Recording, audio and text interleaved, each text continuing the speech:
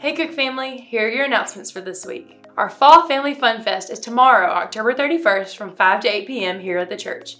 We're excited about this opportunity to reach out to our community and we hope that you'll be a part of it. Senior adults, this Thursday, November 3rd is our monthly First Thursday luncheon. We will meet in the ministry building at 11:30. Next Sunday, November 6th, we are excited to welcome Dr. James Dew, president of New Orleans Baptist Theological Seminary. Dr. Dew will be our guest speaker during Connect Group time and in the morning worship service. Invite a friend. We are now accepting recommendations from the church for new deacons to serve beginning in January 2023. Recommendation forms are available in the church today through November 13th. Also, there will be a special called business meeting on November 9th at 6 p.m. to discuss the proposed 2023 budget.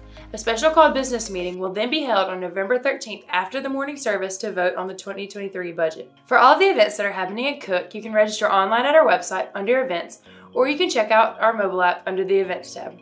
That's it for this week. If you have any questions or need more information about any of these announcements, please contact the church office or email us at cook at cookbc.org.